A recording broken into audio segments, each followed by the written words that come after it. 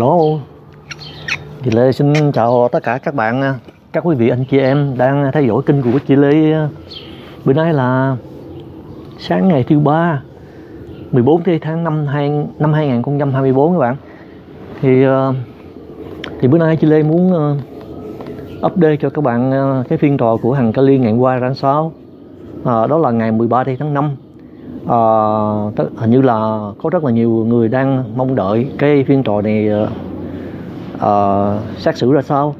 Uh, tuy nhiên ngày hôm qua uh, chị Lê cũng đợi mà không thấy không thấy ai lên lên um, YouTube để uh, update cái cái phiên tòa này ra sao các bạn. Nhưng mà tình cờ sáng nay chị Lê có nhận được một vài tin nhắn của uh, chị uh, Jenny Thủy Đinh tức là bầu xô đó thì uh, với lại một số khán giả khác cũng báo cho tin cho Chile biết là phiên tòa nó không có xảy ra ngày qua nhưng mà họ sẽ hạn lại à, lần sau. Thì uh, đây là một cái sự uh, postpone. Uh, thì uh, chị Jenny Đinh cũng nói rằng là cái phiên tòa này sẽ uh, tiếp tục trở lại vào ngày 24 thì tháng 6 vào lúc 9 giờ 15 sáng uh, cho năm nay các bạn thì ờ, cái sự postpone này mình không có biết cái lý do tại sao. Và theo chi Lê nghĩ rằng là à, có lẽ là hàng Kali đang à, à, chưa có chưa có chuẩn bị hết các bạn. À, thì cô ta cũng đang tập hợp lại những cái tin tức nào khác để à, à, biện hộ trở lại. Đó thì um, đây là một phiên tòa xử giữa hàng Kali và em Cường. Thì em Cường trước, trước kia là một người vô gia cư uh, đã được uh, sự giúp đỡ của hàng Kali nhưng mà sau này các bạn uh, cái tình cái tình huống giữa em Cường và hàng Kali á, có xảy ra cái sự mâu thuẫn với nhau á, thì hai bên tranh chấp với nhau về vấn đề uh, harassment hoặc là vu khống. Uh, tức là harass uh, em Cường. Uh, mình có nghe uh, một uh, vài khán giả nói nha bạn à, harassment với lại vu khống ờ, em cường lần sau sau đó mà cái chuyện này mình không có biết rõ. Và cái sự ờ, vu khống và harassment này làm ảnh hưởng cho tới cuộc sống của em cường ra sao. Và em cường cũng ờ, yêu cầu hàng Kali phải tháo gỡ tất cả những cái video mà hàng Kali đã quay cho em cường à, trong những năm vừa qua và làm cho cái cuộc sống của em cường rất là khó khăn nhất là đi tìm việc làm. Và hiện nay là em cường cũng đã có vợ rồi cho nên em cường muốn um, sống một cách là khép kín không có muốn cộng đồng mạng thế giới hoặc là tất cả các uh, người Việt khác trên thế giới biết về cái cuộc sống của em Cường là sao. Cho nên em Cường muốn Hằng Kali phải tháo gỡ tất cả những cái video của Hằng Kali đã quay em Cường trong suốt thời gian vừa qua.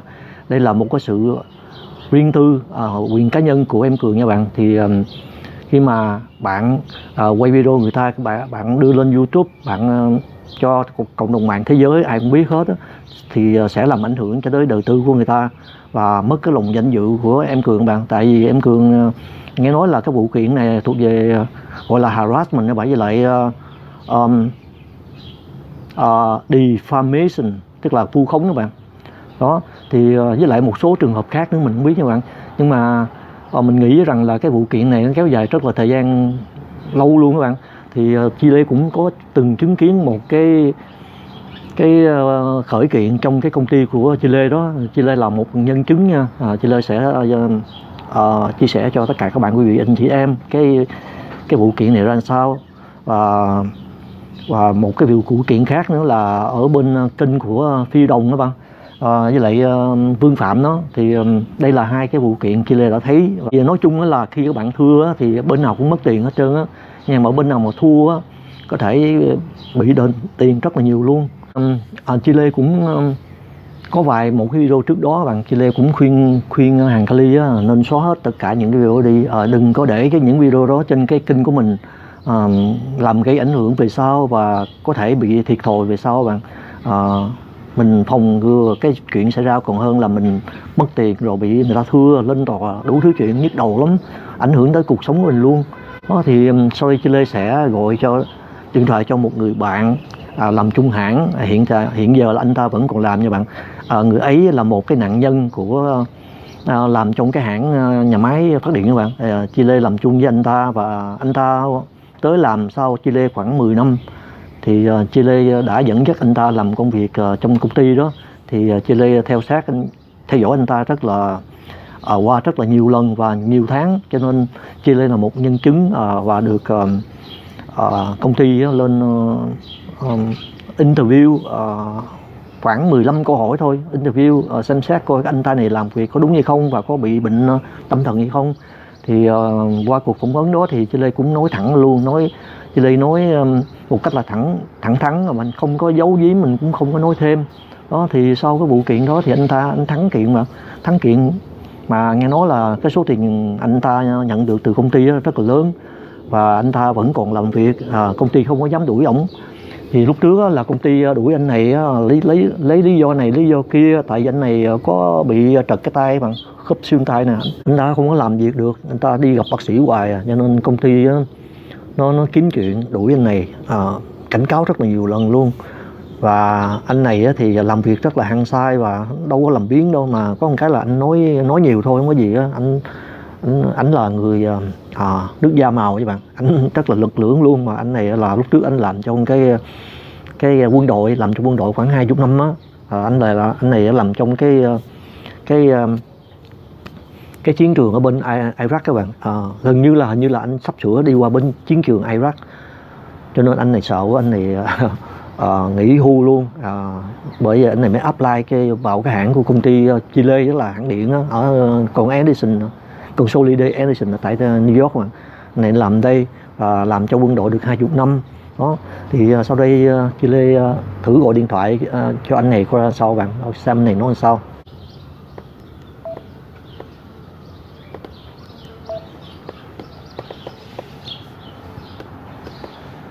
Ok các bạn, à, để mình gọi điện thoại cho ông bạn mình nha. À, Anh này không biết có, bắt lên không, bắt điện thoại hay không? Benjamin chưa yeah.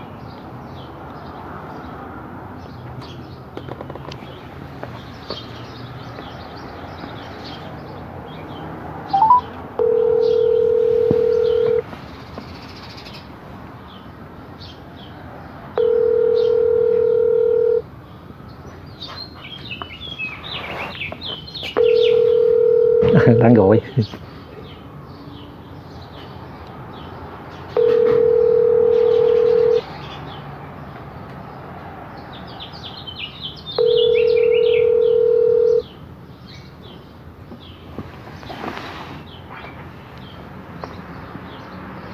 Please leave your message for 9 Lẽ này bận các bạn Không biết anh này có đi du lịch ở đâu không? À, và bây giờ là thời gian bây giờ là khoảng 11 giờ trưa 11 giờ sáng gần 11 giờ sáng rồi tức là 10 giờ 45 phút sáng rồi, thì ờ, giờ này là cái giờ ăn trưa à, trong công ty của Chick-fil-A. Thì à, thường thường á là 7 giờ 7 giờ tới 7 giờ 15 là cà phê sáng cho tới 7 giờ 15 bắt đầu là họp họp buổi sáng cho tới 8 giờ. Đó thì anh này chắc có lẽ là giờ cơm trưa là 10, 11 giờ nó có lẽ là anh này đi ra ngoài ăn cơm trưa anh không bắt điện thoại một là ăn cơm trưa, hai là anh đi du lịch ở đâu á đó. đó thì ờ, Chile sẽ gọi là một lần nữa nha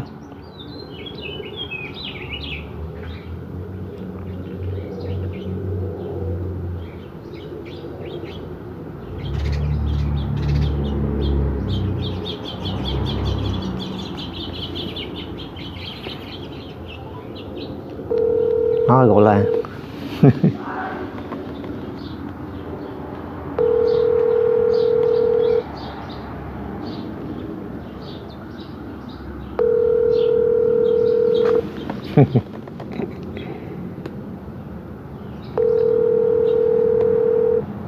con này không bắt điện thoại không bắt điện thoại luôn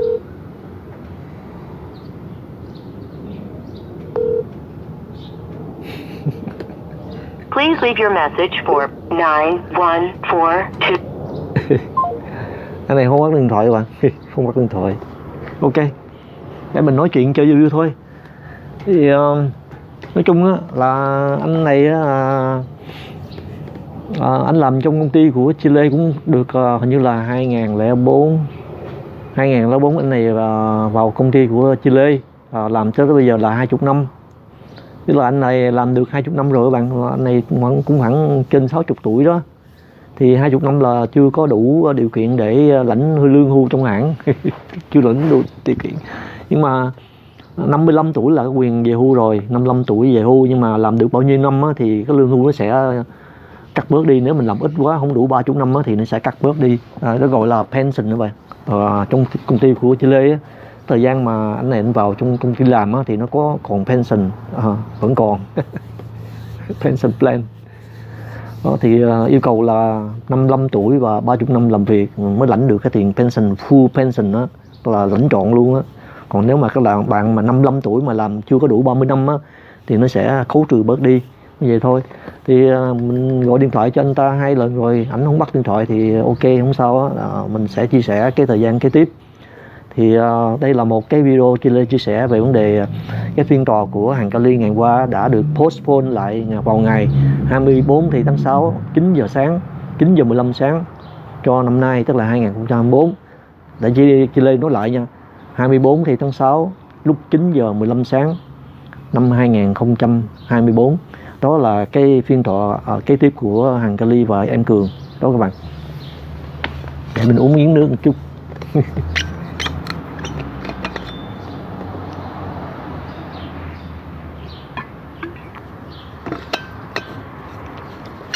sau đây Chile um, nói tóm tóm tắt sơ qua về vấn đề cái anh uh, anh anh uh, uh, anh người da màu này làm chung cho làm chung với Chile trong hãng hãng điện đó bạn. Thì lúc trước là anh này um, như Chile đã nói anh này thưa bị bị đuổi anh này bị đuổi bị công ty đuổi um, đuổi thẳng luôn á. Chile đang làm gì cái anh buổi sáng như nè? Đang kiểm tra cái máy gọi là gì? Cái máy thơ bay các bạn. Mấy cái cánh quạt đó, kiểm tra cái máy đó thì uh, anh ta uh, bị uh, một supervisor uh, đi tới và mời anh ta tới văn phòng và biểu anh ta thay thay quần áo hết trơn luôn đi ra khỏi cổng luôn. Có tuổi security đó nó ác cọt ra ngoài cổng luôn các bạn. Đó là cái ngày cuối cùng chị lê gặp ảnh. Và sau đó anh bị đuổi cho tới mấy tháng sau anh ta mới gọi luật sư à, thưa lại công ty. Thưa lại công ty mà thì anh này anh bị bị như vậy anh thưa công ty hình như là harassment nè à rồi uh, uh, discrimination rồi cái sự mà uh, ảnh làm việc cho công ty á, nếu mà anh bị bệnh á, mà công ty đuổi ảnh á, là công ty có lãnh trách nhiệm uh, gọi là không có hợp pháp các bạn. Khi mà công nhân mà làm việc á, bị bệnh mà công ty đuổi á, là không có hợp pháp thì công nhân có quyền thư kiện lại công ty và đền bù lại cái sự ờ, mất danh dự. Thì anh này được đền bù lại hình như là trên một triệu các bạn trên một triệu đô và sau thuế này hết thì anh này vẫn còn được khoảng 750 ngàn đô các bạn. Anh này cũng phải trả tiền luật sư là bao nhiêu mấy trăm ngàn gì không biết như là 30 phần trăm. Đó đó là trường hợp của anh này nha bạn. Thì anh này anh nói anh bị uh, anh bị công ty um, um, kỳ thị chủng tộc ảnh. Tức nhất thứ hai là harass ảnh đó thì ờ, sau đây chị Lê quay lại cái tình trạng của em Cường và Hằng Kali nha. Thì ờ, nghe nói rằng là em Cường ờ, thư kiện Hằng Kali về vấn đề harassment và uh, defamation tức là vu khống em Cường đó. Thì um, các bạn suy nghĩ đi. Cái chuyện này không có đơn giản đâu các bạn không có đơn giản đâu. Mặc dù cho nếu mà Hằng Kali uh, bị thư kiện á bị thua á thì ra sao các bạn? Không phải là em cường chỉ tốn tiền thư kiện hàng kali tốn tiền luật sư mất thời gian và mất danh dự nữa là nếu mà em cường có thắng là chỉ có vậy thôi đâu không có đơn giản vậy đâu. Em cường sẽ thưa lại đó thưa lại đền bù cái sự ờ, mất danh dự của của em cường nè. Đó cái sự đền bù là bao nhiêu mình không biết nha bạn đó khi mà uh, ai mà thư kiện cho một người nào đó mà mình bị ờ, bị tổn thương về vấn đề tinh thần và tổn thương về vấn đề danh cái lòng danh dự thì đâu có phải là đơn giản là thưa vậy không xong đâu à. mất tiền, luật sư rồi, đủ thứ này nọ. Em cường có thể kiện lại và đền bù lại cái sự mất mát đó. Nó không có đơn giản đâu như các bạn nghĩ. Gì đó. Ok. Ok, các bạn. Nãy à, mình có cuộc điện thoại của một người vào nhắn tin.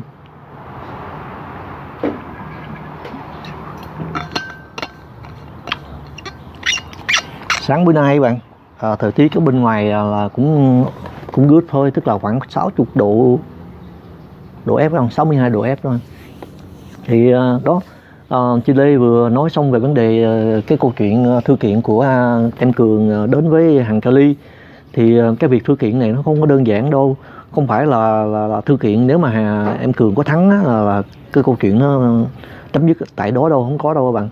À, không có ai mà đi thư kiện người khác tốn tiền luật sư mình bị ờ, tổn thương về vấn đề tinh thần tổn thương về vấn đề uh, danh dự và cái cuộc sống của mình bị ảnh hưởng uh, trong suốt thời gian vừa qua. Không có đơn giản vậy đâu thì uh, khi mà thắng rồi em cường cũng có thể là thử cầu à, cái sự đền bù lỗ lại cái cuộc sống của em cường ra sao trong thời gian vừa qua. À, theo mình nghĩ vậy chứ mình không biết các bạn. Thì à, theo chị Lê à, đã phân tích à, cái câu chuyện của người bạn trong công ty á thì anh này à, bị à, đuổi việc rồi anh này thư kiện kiếm luật sư thư kiện ba luật sư nha bạn ba luật sư. Và cuối cùng này anh này anh này thắng kiện. Uh, và anh này à, được uh, hình như là được uh, uh, bồi uh, bồi thường. Cái số tiền rất là lớn luôn hai lần một lần là 250 ngàn lần sau là 750 ngàn đô các bạn. Thì uh, cái tiền trước đó là không- mình không biết nhiêu nhưng mà anh này anh lãnh về khoảng cái số tiền đó và anh trả tiền cho luật sư là cũng khoảng ít nhất khoảng hai 20 đến 30 phần trăm đó. Thì cái vụ kiện của em cường á, thì ờ, mình nghĩ rằng là nó nó không có ít đâu nó cũng không có nhiều lắm các bạn. Thì ờ, khi mà hàng Kali uh, càng để những cái video hình ảnh của em cường mỗi một ngày là tốn bao nhiêu tiền họ sẽ tính lên đó. À, rất là nhiều video luôn ít nhất cũng loãng vài chục vài chục cái video các bạn. Trong thời gian vừa qua là khoảng hai ba năm đó thì ờ, hàng Kali cứ ờ, cứng đầu và không có muốn đem xuống những cái video đó những video đó đâu có còn kiếm tiền đâu. Thì những video đó là đó là những cái video rác thôi. À, chỉ là hàng Kali đã kiếm tiền rất là nhiều trong thời, khoảng thời gian đó rồi. Thì những video cũ thì không ai thèm xem á tại sao không đem những video đó xuống? Đó đó là lý do tại sao chị Lê hỏi đặt ra câu hỏi là tại sao hàng Kali phải giữ những video đó? Nếu mình muốn giữ những video đó để làm chứng là mình Ờ, có giúp cho em cường ờ, trong thời gian vừa qua thì bỏ vô cái quyền riêng tư khi nào mà ai có thư kiện gì đó mình đem ra mình làm bằng chứng tại sao mình phải đưa lên cộng đồng mạng cho ừ, cộng đồng thế giới người ta xem? Nó rất là vô lý luôn. Ờ, cái vụ kiện này nó không có đơn giản đâu à, và tòa án cũng cần phải có cái sự minh bạch về vấn đề ngôn ngữ lăng quỳ đó. Thì uh, những cái video mà hàng Kali post lên đó là toàn uh, tiếng Việt Nam không. Thì uh, nếu mà tòa uh, cũng có thể ờ, yêu cầu hàng Kali dịch ra tiếng Anh từ tiếng Việt qua tiếng Anh thì mình cũng cần phải có một cái thông dịch viên có cái bằng cấp gọi là certified translator đó thì tốn rất là nhiều tiền luôn. Đó cái cái gì- cái vụ kiện này không đơn giản đâu thì, um, thì mình theo dõi cái vụ kiện của phiêu đồng á, thì phiêu đồng cũng nhờ ờ, cái certified translator tốn rất là nhiều tiền luôn. Đó thì vụ kiện của um, phiêu đồng á, thì cũng đang uh, um, chờ kết quả ờ, khoảng nay mai thôi chờ kết quả cái vụ mà giữa phiêu đồng với lại phương phạm ra sao. Đó thì um, còn cái chuyện lùm xùm giữa ờ, em cường và hàng kali á, thì mình không có biết rõ cái cái lý do tại sao hai người ờ, đã tới cái sự gọi là tranh tranh chấp với nhau và kiện tụng với nhau. Thì mình cũng nghe nói rằng là cái sự kiện tụng này nói về vấn đề à, harassment và defamation là vu khống và À, quấy rối quấy nhiễu cái được cuộc sống của em cường đó. Đó các bạn thì um, thì nếu mà à, em cường thua kiện là làm sao bạn? Nếu mà em cường thua kiện và Kali thắng rồi làm sao nữa? Mình nghĩ rằng là uh, hàng Kali có thư kiện em cường hay không? Mình nghĩ là nếu mà có thì em cường đâu có tiền đâu em cường đâu có tìm được việc làm. Em cường bây giờ làm bưng phở cho một cái cái nhà hàng người Việt Nam nào đó đó đâu có nhiều tiền đâu. Thì bất quá thì em cường trả ờ, một đô một tháng. Muốn không? Em cường đâu có tiền đâu. Không có tiền, không có tiền. Thì nếu mà em cường có thua thì maybe có lẽ là một tháng em cường trả chỉ 10 10 đô hoặc là một đô thôi, nếu mà hàng Kali chấp nhận. Trả suốt đời luôn. Mà mình mình nghĩ mình nghĩ rằng là em cường không có thua đâu tại vì em cường có lý do riêng. À, lý do chính đáng luôn á theo mình nghĩ vậy các bạn. Nhưng mà nếu mà hàng Kali thua lại em cường á tốn rất là nhiều tiền luôn. Cái thời gian này á là cái thời gian kiện là em cường kiện hàng Kali và hàng Kali phải uh, mướn luật sư để bào chữa lại. Và nếu á, mà hàng Kali thắng á, thì hàng Kali cũng phải làm thêm một cái cái cái cái case khác và mướn luật sư để thư kiện lại em cường. Và thời gian đó cũng tốn rất là nhiều tiền luôn các bạn đó. Đó à, nếu mà em cường thua thì à, à, em cường à, à, không có tiền trả đâu. À, ăn mày đi ăn mày luôn. Và muốn, muốn có trả. Và muốn và có trả thì chắc có lẽ một đô hoặc là vài đô mỗi tháng thôi. Mà nếu mà hàng cái ly chịu thua luôn các bạn để mình, để mình uống nước lần thứ ba các bạn khát nước quá nói chuyện như bạn khô cổ luôn. Đó các bạn. À, à, có một số youtuber nói rằng là ờ, à, hàng Kali quay phim em Cường để xin tiền cộng đồng mạng đó. Thì em Cường có cho phép. Điều đó có đúng hay không? À, xin thưa các bạn uh, hình như là khởi ban khởi ban đầu á, là hàng Kali ờ, lên quay phim. Uh, em Cường uh, hình như là có xin phép không biết có xin phép không mà như là có xin phép đó. Hình như là vậy chỉ có một lần thôi. Nhưng mà những cái lần sau á hàng Kali có xin phép hay không? Mình nghĩ là không có đâu. À, có lẽ là hàng Kelly nghĩ rằng là lần đầu tiên xin phép là được. Và những lần sau á, là ok à, tiếp tục à, quay quay hình ảnh của em cường và đưa lên mạng. À, để ờ, kiếm tiền trên youtube. Và à, nói về em cường hình ảnh của em cường sao á ừ, rất là nhiều qua nhiều rất là nhiều video luôn. Thì ờ, cái việc mà mình đưa một người nào đó lên mạng xã hội quay youtube đưa lên mạng xã hội và đưa xấu một người nào đó và nhất là em cường là người vô gia cư thì ờ, điều đó là mình nghĩ rằng là không có hợp pháp. Không có hợp pháp tại vì không có sự hợp đồng giữa em cường và hàng cali à, mình nghĩ rằng nha theo Kelly nghĩ nha lúc ban đầu là hàng Kelly có hỏi em cường mình nghĩ mình nghĩ là có đó mà mà không biết có đúng hay không và em cường á, là lúc đó là cũng là homeless à, đi lụm những cái lon á, bán á. rồi ờ, hàng Kali muốn giúp đỡ quay em cường rồi chắc có lẽ là có sự đồng tình ở đó mà một lần thôi một hai lần thôi nhưng mà những lần sau là không có xin phép thì nếu mà bạn mà quay phim người ta đó à, làm youtube quay phim người ta mà không có sự xin phép á và bạn làm ảnh hưởng ờ, xấu với cái cái tâm lý và cái cuộc sống người ta trên mạng xã hội á, thì bạn phải trả giá thôi. Đó thì thằng Kali ờ, cố chấp các bạn. Mình nghĩ rằng là vậy đó. Thằng Kali muốn lấy cái lý do biện lý do rằng là tôi muốn giữ giữ những cái video này để làm bằng chứng là tôi có giúp em cường nhưng mà những cái video đó đâu có còn giá trị nữa đâu bạn. Hết giá trị rồi đã kiếm tiền xong hết rồi. Đó. Ở bên nhà bên cạnh ở phía sau nhà họ đang gây lộn nhau tụi uh, mấy người tàu đó gây lộn nhau. Ở đây chim chóc quá trời luôn mà quá trời giờ chim luôn. Nó xung quanh sân vườn nhà chị lê nè. Chim chóc buổi sáng. Bây giờ nắng đang lên rồi. Đó thì à, chị lê không bao giờ quay phim ai mà đưa lên mạng nếu mà người ta không có đồng ý. Chị lê không có thích. Ngay cả chị lê mà đi ờ, ăn thiệt á à, chị lê cũng không có dám quay phim người ta luôn. Mặc dầu là những người trong gia đình à, chị lê không có dành quay. Chị lê chỉ quay những cái món đồ ăn này thôi xong. Không muốn quay phim ai á. Còn cái các bạn quay phim ở ngoài public á, thì mình quay lướt sơ sơ nha chứ không có tập trung quay quay một ờ, nhân vật nào đó lâu ờ, thời gian lâu như bạn à, là bạn cố tình bạn quay người ta đó là cái quyền riêng tư nha. Có rất là nhiều người người ta hiểu lầm bạn. À, những người ở bên ngoài public á, mình quay mình có quyền quay đương nhiên là mình có quyền quay nhưng mà mình không có cố tình mình quay người ta mình chỉ lướt qua thôi. Đó thì à, qua vài cái video của hàng Kali á, lúc trước Lê cũng có nói có một video của hàng Kali quay một người vô gia cư ở bên lề đường đó thì à, cô ta chửi bới rất là nhiều luôn. Và qua cái video đó Chị Lê rất là phản cảm Chị Lê mới mới uh, bắt đầu uh, theo dõi cái kênh của hàng Kali. Uh, Chị Lê cũng có vài cái video khuyên hàng Kali đừng có nên làm vậy nữa. Uh, quay những người vô gia cư mà không có sự cho phép của người ta người ta không thích đó, là mình không có được bỏ lên mạng cộng đồng xã hội để mình lên kiếm view kiếm tiền. Đó các bạn. À, khi một à, khi bạn làm ảnh hưởng cuộc sống của ai đó bạn quấy rối cuộc sống của ai đó à, trong một thời gian lâu dài á, thì bạn phải lãnh trách nhiệm bạn phải bồi thường lại cho người ta.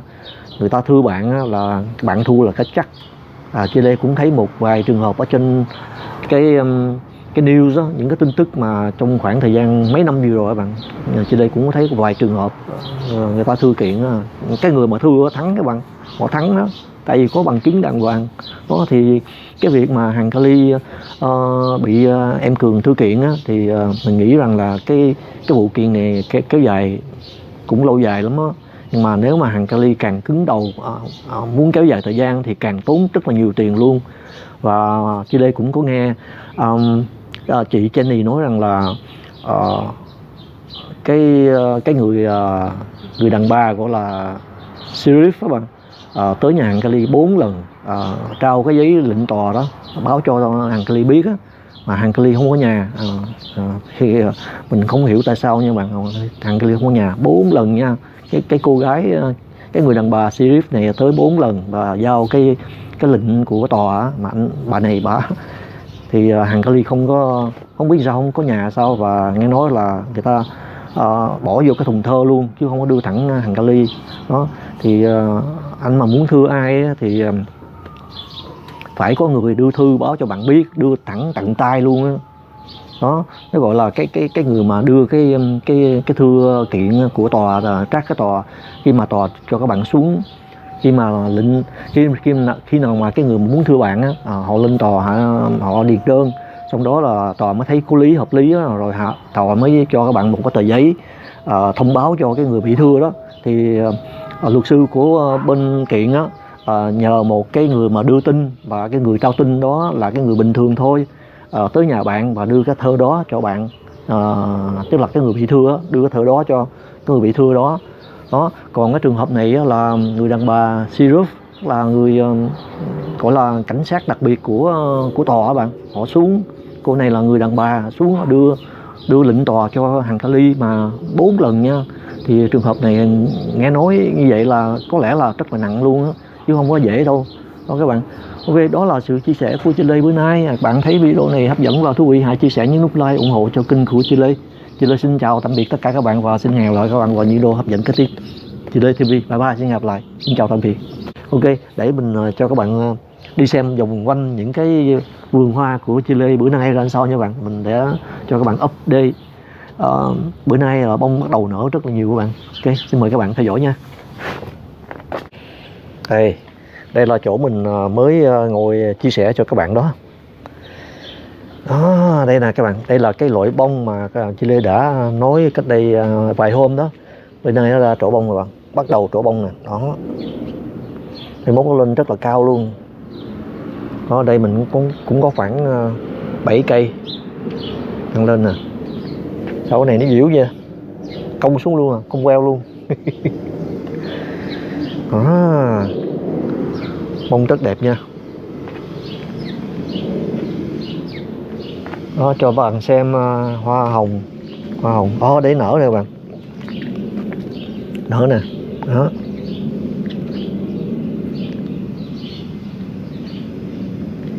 Hoa nở rồi. Đây đang nở nè sắp sửa nở ra đó. Chưa nở hết đâu. Khi nào nó mở hết ra giống như cái hình cái chuông các bạn đó. À, hoa hồng sắp ờ, sắp sửa nở rồi ờ, có loại hoa này nữa. Hoa này rất là bự luôn bự bằng cái cái chén luôn á. Nè hoa hồng nè. Đó hoa hồng nở quá trời luôn ra rất là nhiều luôn. Đó. Đang lên đây à, à, hoa đỏ nè đó đẹp lắm nha. Thăng lên nè. Nó cùng loại hoa màu tím nó chưa có lên nó chưa lên hết mà có lẽ là hết nước sau thấy khô quá. Nó dịu dịu cái cái cái cái đầu nó dịu dịu xuống là nó thiếu nước thôi mình sẽ tưới nước.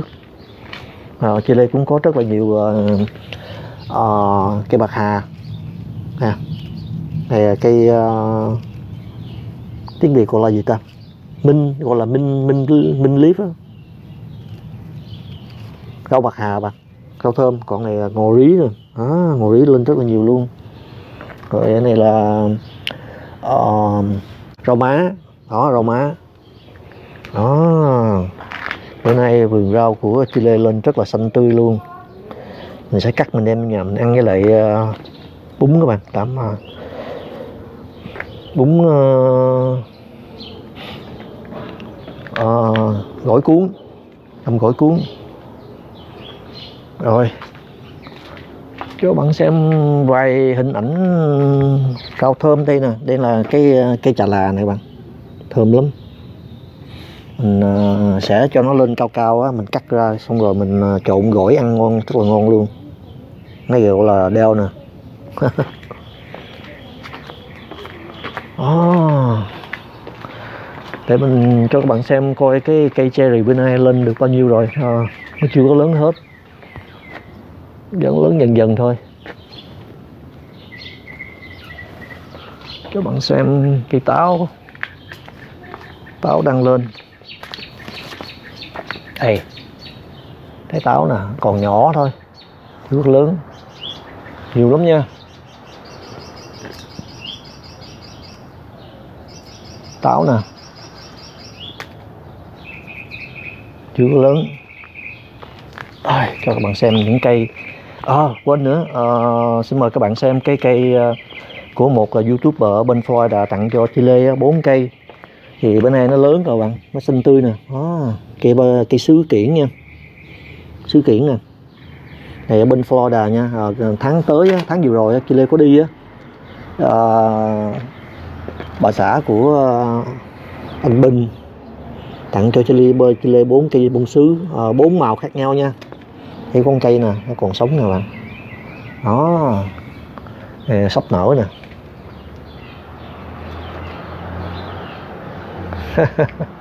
Rất là nhiều hoa luôn các bạn. Đó thì uh, à, dẫn các bạn xem uh, ở vườn hoa bên cạnh bên hông nhà. Hey, cái này là cây uh, tú cầu nè hoa này sắp sửa lớn nữa tú cầu. Rất nhiều nha.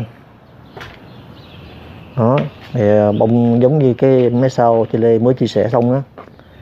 À và đợi thêm khoảng à, vài ngày nữa à, Chile sẽ trở lại cho các bạn xem những cái cái loại hoa này nở rất là đẹp luôn. Đây. Rất đẹp luôn rồi. À.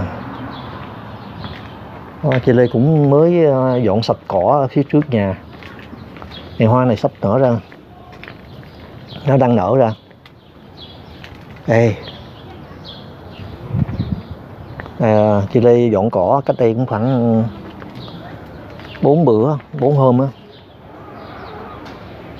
Đây cái này đang lên nè loại hoa này chị lê trồng à, chung quanh nhà hết luôn rất là đẹp luôn các bạn. Nó nó giữ trên cây á, hoa này giữ trên cây khoảng à, khoảng gần một tháng các bạn. Rất là đẹp luôn cho nên chị lê thích nó lên cái bông này mà rớt một cái cái bông khác nó ra. Rất là đẹp luôn. Đây. Quá đẹp luôn. Đó còn cây này á cây này Chile trước đó thì lê nói rằng là Heartbreaker thật ra là nó tên nó nó là Red bud Red bud là Red bud Flower.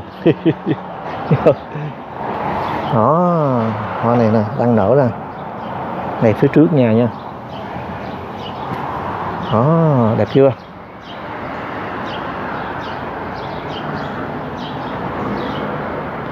Đây các bạn. Ừ. Đây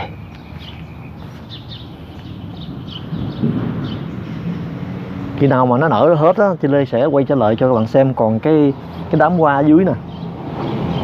Đó. ok à, cái bạn đó là um, cảnh uh, hoa trong sân vườn của nhà Chi Lê. Đây. Trắng hoa trắng rất là đẹp luôn.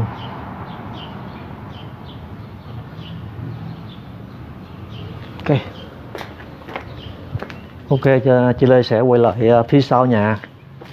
À, thì bữa nay là ngày thứ sáng thứ ba chị Lê uh, vội vã quay phim cho các bạn xem coi cái ờ, uh, phiên tòa của hàng Cali và em Cường uh, tới đâu. Thì uh, họ đã uh, postpone lại vào uh, tháng sau 24 thì tháng 6 9 giờ 15 sáng. Đó đây nè. Hôm này rất đẹp luôn rồi